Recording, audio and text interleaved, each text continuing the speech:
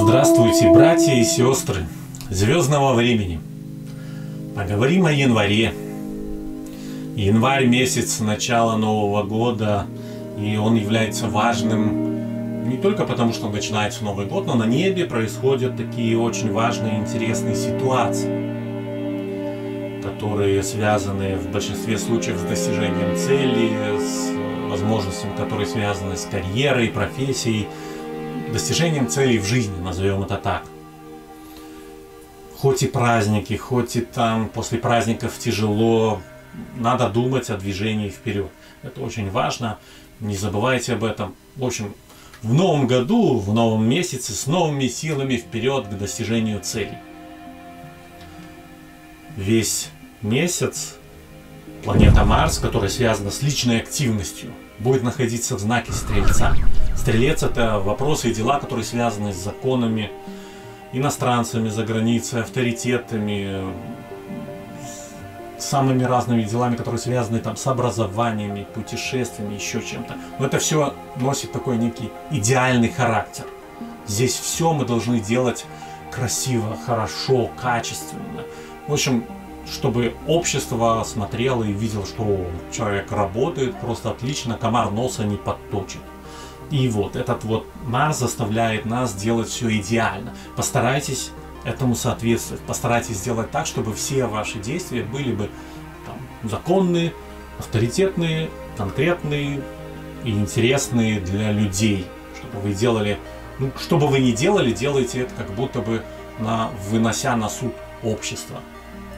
Здесь, правда, есть некие сложности, которые связаны с чувствами. Могут возникать там ситуации, э, что вот там нет в жизни счастья или какие-то заморочки, которые связаны с деньгами, с оплатой, с партнерскими отношениями. Но это все ну, просто необходимо контролировать и знать, что вот есть некий негатив, с которым надо бороться, который надо учитывать. Не опускать руки, но учитывать, что могут быть сложности с финансами, могут быть сложности в проявлении своей личной активности с партнерскими делами. Но в первую очередь связанными как бы с чувствами.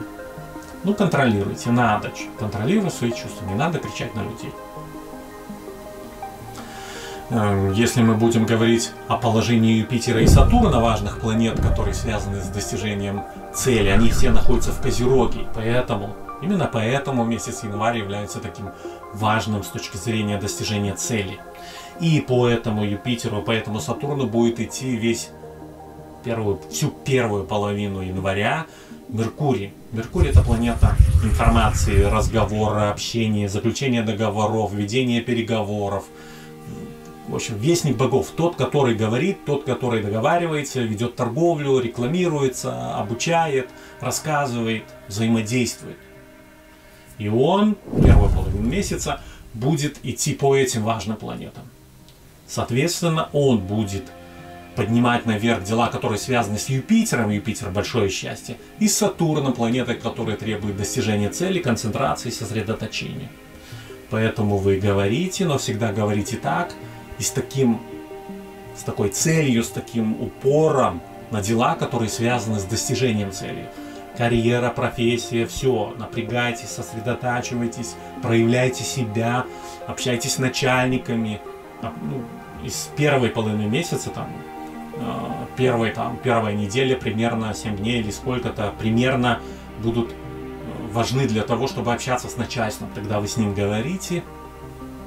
Меркурий соединяется с Юпитером, то есть Меркурий разговор соединяется с Юпитером, это авторитет и большое счастье, значит вы можете там поговорить что-то там прибавки зарплаты, о, дел, о делах, которые связаны с вашей карьерой, о том, как лучше, что сделать, как организовать производство, там, или еще что-то. И в своих собственных делах, в своем собственном бизнесе тоже легче вот эти вот все идеи воплощать в жизнь.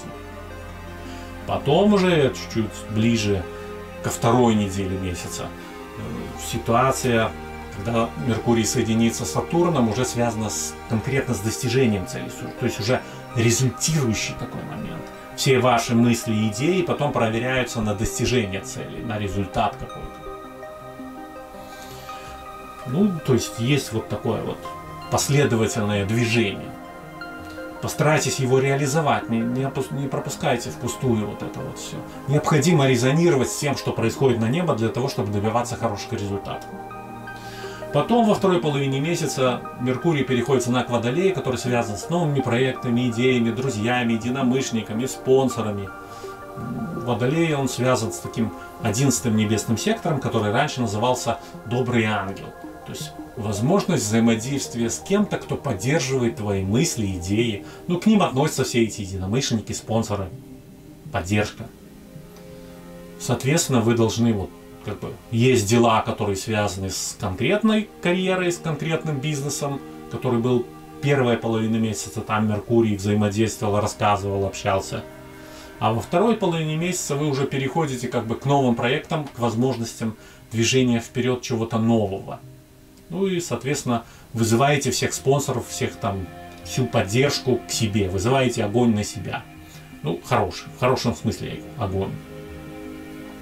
С точки зрения Венеры, это планета любви, красоты, гармонии, она связана как с заработками, так и с партнерскими отношениями. Тоже удачен как бы первый период месяца, первая половина месяца, потому что Венера здесь находится в знаке Водолея, она всегда связана больше там, с общением, с друзьями, что можно более красиво э, свои идеи как-то предъявлять другим людям, хорошо взаимодействовать, рассказывать, показывать, еще что-то. То есть люди склонны с вами дружить, скажем так. Как начальники, так и простые люди. И это необходимо использовать. И помнить о том, что вот тот Меркурий, о котором мы говорили чуть раньше, который связан с, с знаки Козерога с Юпитером и Сатурном, то есть с э, хорошими возможностями, потом с достижением цели, он еще поддерживается первую половину, половину месяца этой вот Венерой, этой удачей, красотой, любовью, умением общаться с другими людьми. Это вот хорошо поддерживает, надо использовать первую половину месяца. Во вторую половину месяца Венера переходит в знак рыб, и здесь мы погружаемся больше в чувства, в эмоции, переживания. Самое главное эти чувства, эмоции и переживания не очень обострять. Потому что Венера идет на соединение с Нептуном, а Нептун связан как бы с некими космическими влияниями и с космическим уровнем.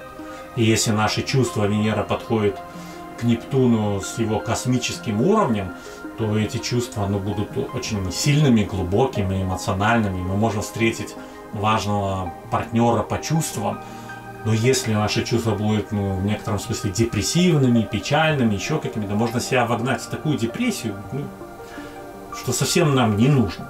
Просто это учитывайте и постарайтесь использовать только позитивную сторону процесса, то есть умение углубиться, умение почувствовать другого человека, его психологию, его какую-то эмоциональную составляющую. И это использовать, естественно, для бизнеса.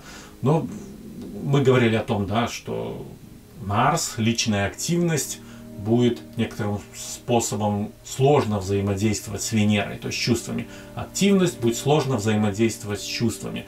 Поэтому вам необходимо ну, тщательно их готовить, прорабатывать, чтобы не было так, что это вспышка, которая ну, растратила всю энергию только на вспышку. Постарайтесь сделать так, чтобы эти чувства были к месту, ко времени и к человеку. Также необходимо думать о делах, которые связаны с заработками. Новые идеи в этих делах связаны с положением Урана в знаке Тельца. Телец ну, тот, который кушает, тот, который живет, тот, который набирает. Соответственно, набирает энергию, набирает деньги, набирает имущество, набирает идеи. И здесь есть хорошие возможности, которые связаны с э, взаимодействием с этим Ураном Меркурия. Если Уран это идея, то Меркурий это простая мысль, обработка этой идеи. И во второй половине месяца хорошая как бы, ситуация с этим связана. То есть могут возникнуть новые взаимодействия с какими-то друзьями, знакомыми, какие-то новые проекты, которые теоретически могут быть выгодны с точки зрения финансовой. Но в первую очередь их необходимо обрабатывать, работать с ними с точки зрения информационной. То есть там какие-то бумаги, документы, а что за проект, как его делать. То есть это больше на уровне обсуждения, нежели реальная реализация. Потому что реальная реализация связана уже с взаимодействием этого урана с э, Венерой в рыбах а там как бы это взаимодействие несколько напряженное. Поэтому ну, результаты не такие, финансовые результаты будут ну, совсем не такие, какие э, вам хотелось бы, чтобы они были. Поэтому больше обращайте внимание на информационную составляющую, то есть на то, чтобы договариваться, решать, о, проект хороший, давай его обсудим, давай с ним поработаем, а потом уже про деньги будем думать потом. И об инвестициях, и обо всем остальном только потом.